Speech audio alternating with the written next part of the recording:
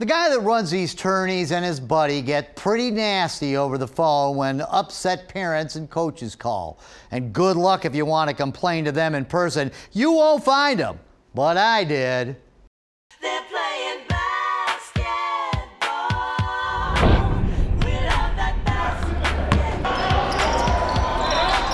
This is sports tournament promoter John Graham. I don't hide from nobody. This is John's lying friend who's definitely trying to hide. Are you here with John?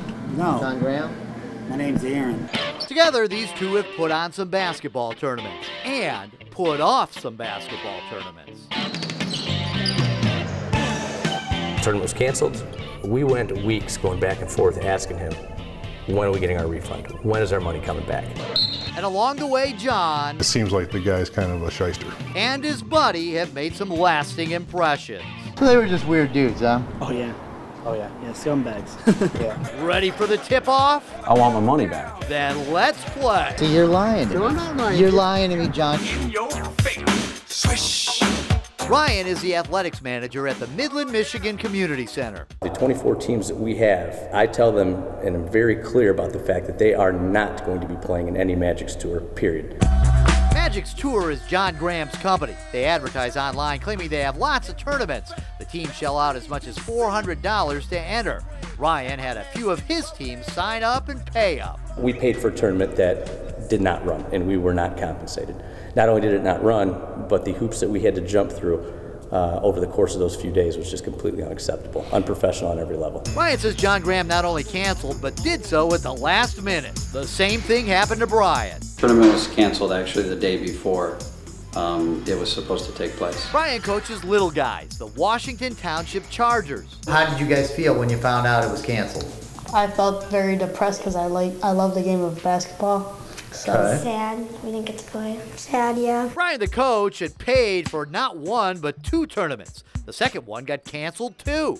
Brian asked John for his money back and says he was told The money is forfeited back to Magic's Tour. So he canceled, but he gets to keep the money? Correct. Magic's tour did finally give the Chargers a tournament a few weeks later to play in. He was just stringing us along. Mark is one of the players' father.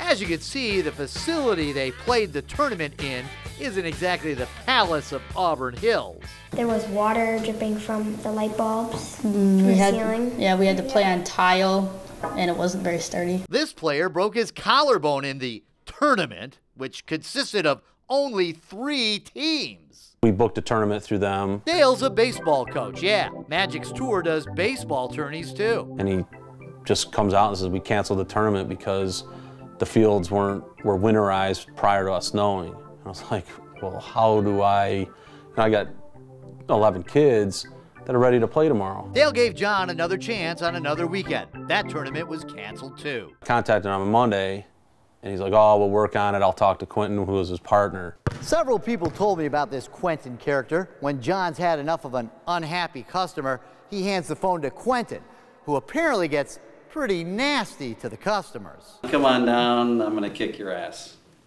And who said that? Um, John Graham's partner. That's a pretty safe threat because if you do decide to come on down, it's unlikely you'll find the Magic Men from Magic's tour. This is supposedly their office. Neighbors told me they're no longer there. John Graham's main business address is a post office box, and since the tournaments are booked online and over the phone, none of these customers have ever even met John Graham or Quentin.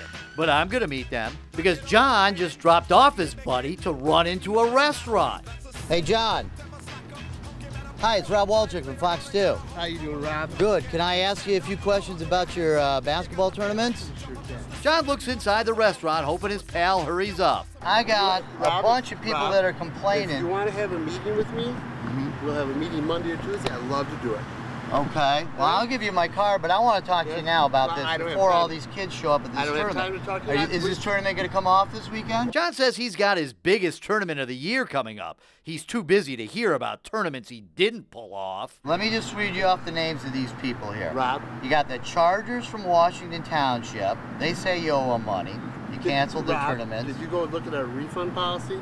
You know you got a, got a bunch of complaints. You got an F on the BBB scale. We got a no scale on the BBB. That sure looks like an F to me. Where's your office at? My office is in Fenton, Michigan. Where in Fenton? It's off of Leroy Road. Mm-hmm. What's the address of it?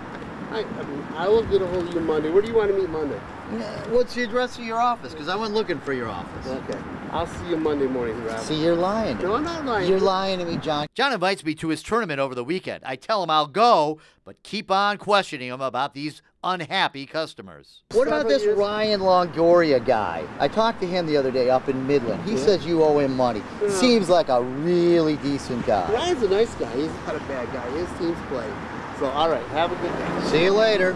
John just bails on the guy inside the restaurant, so I go inside to talk to him. I suspect it's John's right hand man, Quentin. Hey, Quentin, No, who are you? Are you here with John? no. John Graham? My name's Aaron. Your name's Aaron? I'm not with John Graham. Okay. Who's John Graham? Hmm, I got a feeling this is Quentin, but I'll play along. What are you doing today, Aaron? Drinking coffee, relaxing, Yeah. day off work. Where do you work? Actually, I do daycare with my wife. Okay. All right. Quite a lot. I was nice to Aaron because I wasn't exactly sure he was the guy who got out of John's Hummer. But now I am because there he is getting into John's Hummer. I show video of this guy to neighbors at John's old business. They tell me that's Quentin, the hothead. He would walk around out here on the phone screaming, yelling at people. I don't know who he was talking to, but it was like a daily occurrence. So why this guy lie? Tell me his name was Aaron and that he didn't even know John Graham? Maybe because this guy's actually Quentin Bartlett and he has a criminal record. And maybe because the sheriff's department in Eaton County told me they'd like to talk to Quentin. And John Graham's no prince either. He's been sued and lost several times. In fact, he filed for bankruptcy last year because he owes tons of vendors, sportswear apparel companies, schools. In the tournament of life, this guy doesn't even place. Hey, John, I got a trophy for you. You're the champ of the chumps. You're in the Hall of Shame.